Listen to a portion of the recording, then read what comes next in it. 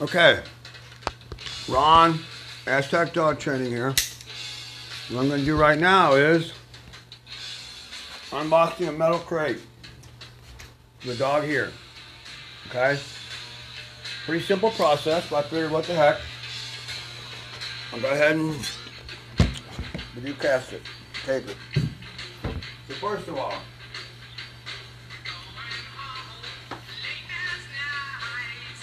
turn off the music so I don't get a copyright strike. I put it on YouTube. So, first of all,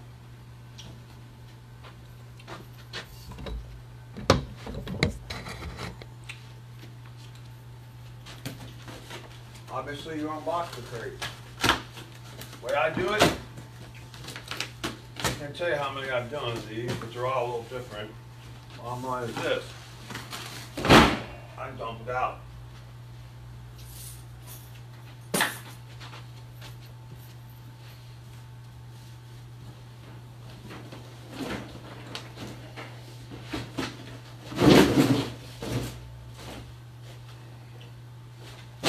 Save your box.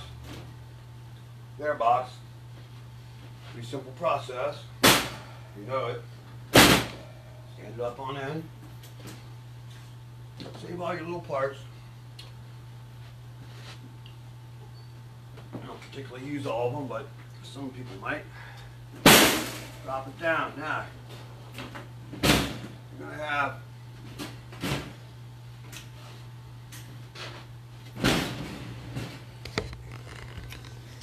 We have these little snaps here. Hold it together. Opens up.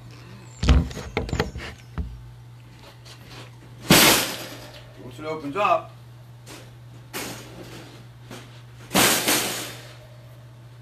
it's not too hard to put together. Now the secret is though to this, when you buy a crate, now this one is actually pretty thin metal they would have, if I would have known these people before they ordered it, and guys, I'm not putting you down at all. It's just exactly what I'm about to address in some of my videos. This would be a good place to start. It's a nice crate. I bet they paid a pretty penny for it. Now, problem is it's very, very low gauge steel. It's kind of flimsy, so this is a dog that's already broke out of one crate. And like I said, every one of these is different, so it looks like this needs to come off of here. Open, there we go. Once you get it open, open like this. This is flimsy, look at this. Very flimsy. I would have gotten a much thicker gauge one, but like I said, here's what it is. I'll make it work. So now, this is a difficult one to put together because this gate has to come down before you can open it. So that presents a little bit of a problem. So you have to lift this little, there's a handle in here you have to lift up. Lift up for this to come down. So if you've got a college education, you might, you might you might figure it out. Even if you do. You have to make sure that all these little... Most important thing is, dogs are very creative at getting out of these damn things. You have to make sure that all of these are locked over the crate, around the edge, and over the top. Otherwise, the dog will just squeeze through. And I see them still do it. So what I advise people to do, what I'm going to do with this dog, so the dog doesn't get out, because the dog squeezed out on the corner, I'm going to put snaps on here because look, look at this. The dog can squeeze his head out through this hole. So what I do, I put a snap right there. And I'll seek out, look at this. These snaps hold it, supposedly, and they might. Dogs are very smart. So, I go around the crate, here's another spot, right here at the top. I'll put a snap here. Now, this type of crate lifts up, which is okay. It's a lot harder for a dog to get out. Life's gonna lob them, learn real quick. Slide the gate up. So I also put a snap down here. So I put snaps at the top, and I'll use old leashes. And I'll also put a snap down here. So you can't, the dog can't get it out. That's me, because I know shit happens. Now that divider in the middle, what that's for, if you have a puppy that lives on this side of the crate, poops and pees over here, but hangs out over here, he's not going to get housebroken. So you have a puppy, you want to divide in the middle so the dog has enough room to stand up, turn around, and lie down comfortably. So we're going to test this dog and see how it, how it is. So, that's it. Here we go. First I'm going to take out the divider. Pick up all this. Don't use your hands like I do. I'm a monster. So I feel no pain. Not anymore. Now that's just across the top. Everybody can see this. The way this crate opens. Now these are this is the most difficult part is they always get hung right here. You have to be real careful. Get it nice and even and go down. Then they catch here. You have to make sure that's lifted up. This little thing right here. They go up. They'll catch right there halfway. And they go up. These type fold over the top. I hate these kinds. For you and me. Because they're ridiculously over engineered. It's a damn fucking dog crate. Pardon my. Ah, this is an R-rated video. I'll do another version I can actually post on Facebook. So this part comes out. We don't need this. Divider. I've got 500,000 of these. I used to. I've used them for other things, but I'm not going to go into that right now. But, so I take out all the extra parts so the dog doesn't eat them. Rule number one. Empty all extra parts. Okay. Now, make sure it works. Rule number three, put the dog in. So let's see what happens. You ready to try your crate? Huh? And I always, I never put anything in the crate at first because this dog, let's just hypothetically speaking, assume this dog's never been in a crate. The dog has. The dog doesn't like it, but the dog has. Um, so if I put a towel in there or a bed, how am I going to know if the dog pisses if the bed absorbs the piss?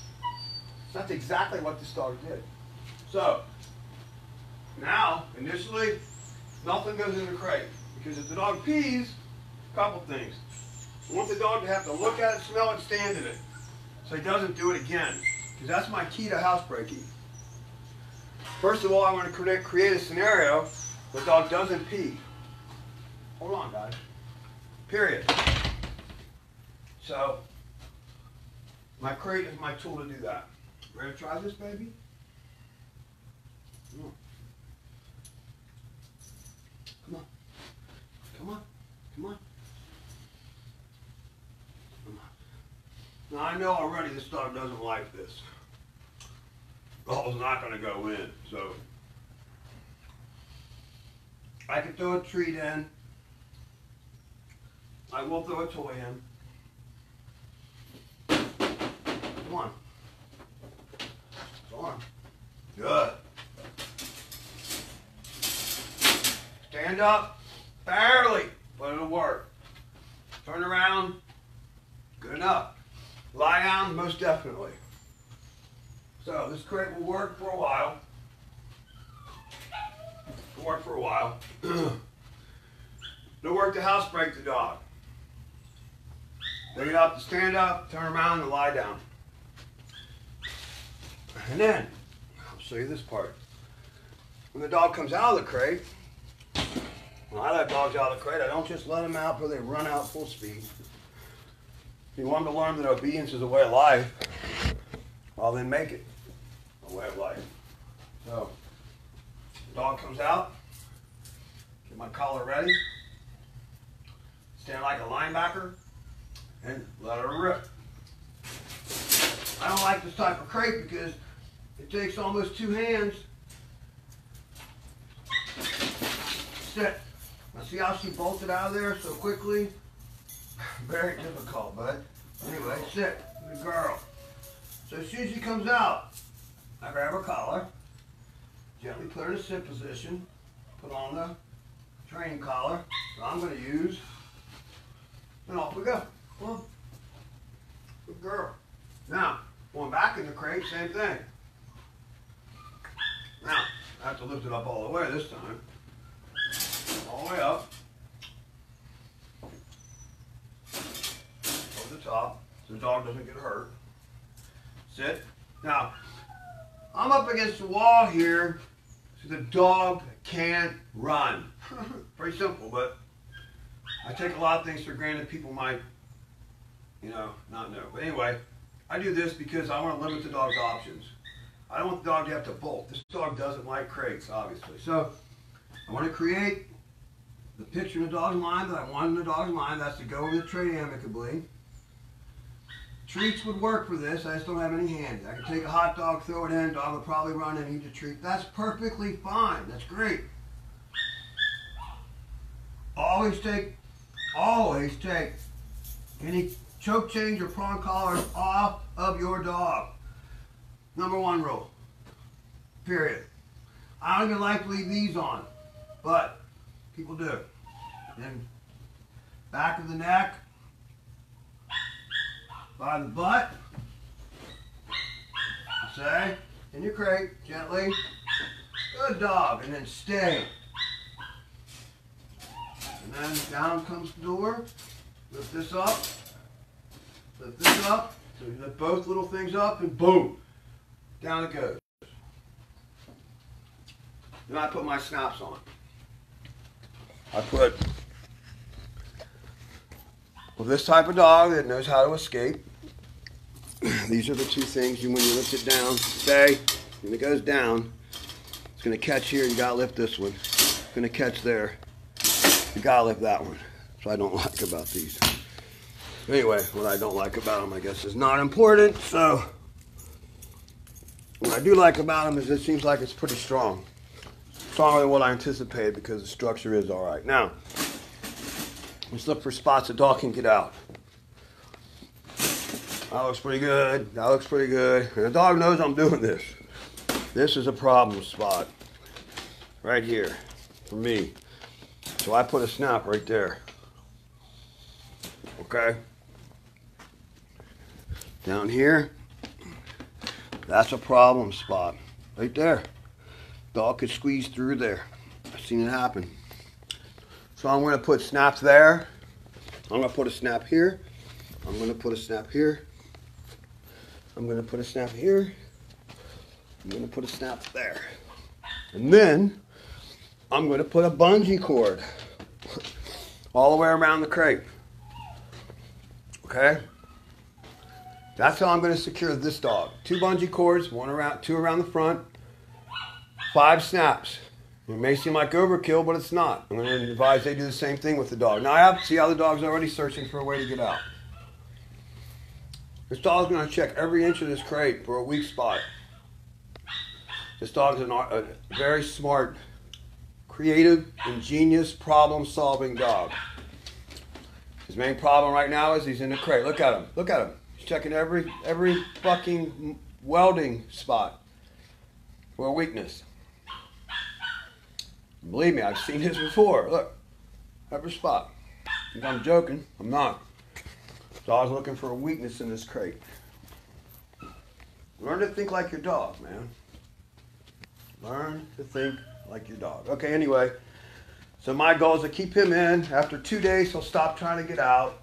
And then the dog will, what I say, I call surrender. This is this dog's problem, one of many. But look, okay, now he saw, he saw my snap. He knows that's not an option now. I'm not kidding you. This little guy knows what's going on.